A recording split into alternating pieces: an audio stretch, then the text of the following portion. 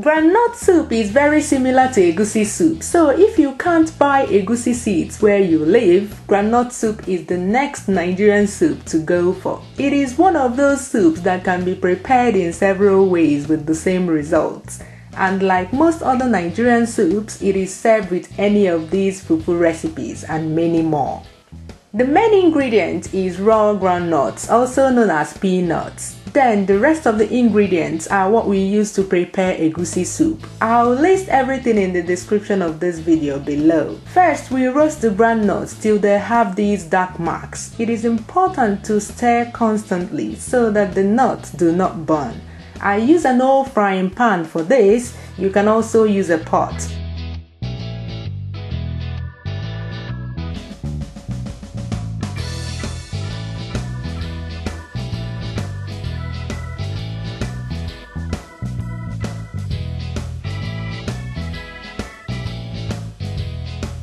So once you see these dark marks on about 50% of the ground nuts, it is okay to take it off. Then set aside to cool down completely. Here I'm using my pressure pot to cook the shaki, stockfish and dry fish. With this pressure pot, these are cooked in no time. Please note that I soaked and deboned the dry fish earlier. When the groundnuts have cooled down completely, grind them with a dry mill. The roasting makes the grinding easier. It also gives the groundnuts a nice aroma.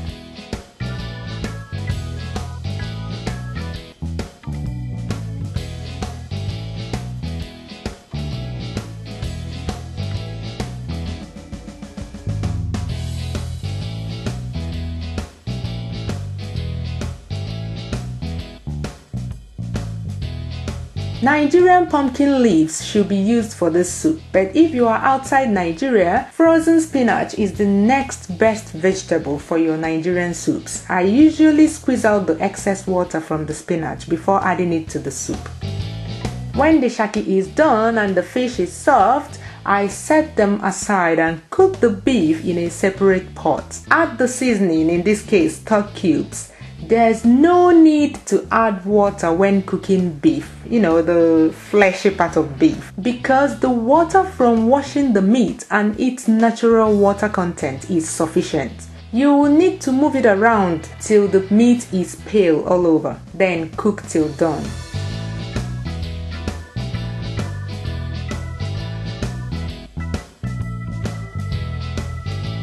You see, all that water came from the beef. Cooking meat this way also guarantees that the seasoning penetrates the meat, making it taste much better than when water is added. Now add the shaki and fish.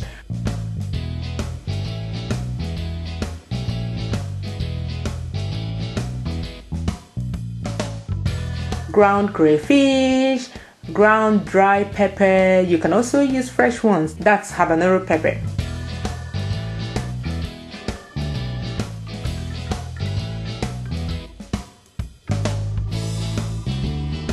And salt. Cook till it boils very well.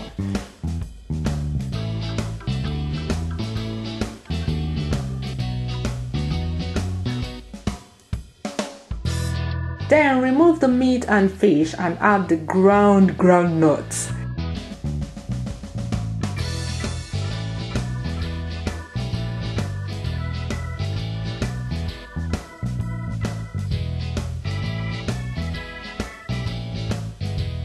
Very well till there are no lumps. At this point, the heat should be very low, otherwise this burns like no man's business.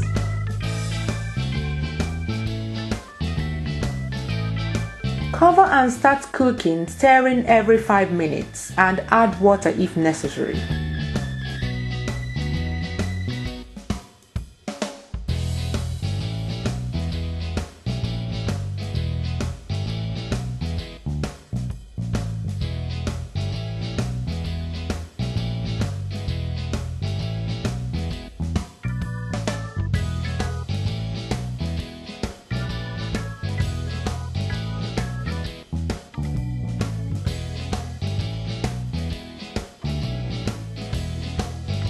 Repeat the process till you see some clear oil at the surface of the soup.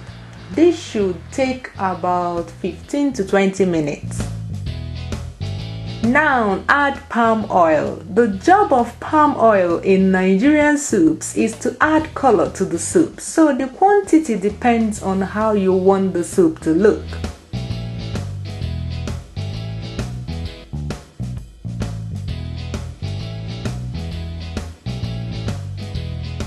You see the transformation?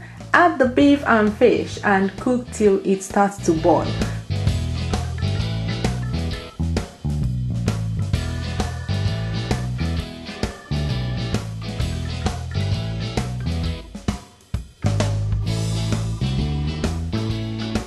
For some people, the groundnut soup is ready at this time, but for others like me, I'll add some vegetables.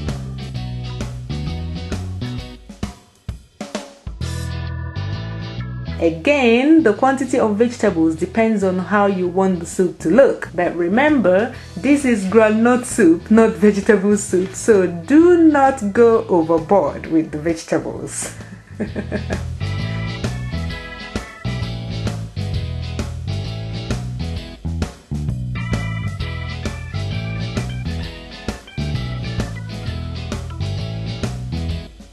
Groundnut soup is delicious, but for those who have never tasted it, I must say that it has some sweetness to it, which is uncommon with Nigerian soups. But once you get used to it, you will definitely want to add this soup to your family menu. See you soon!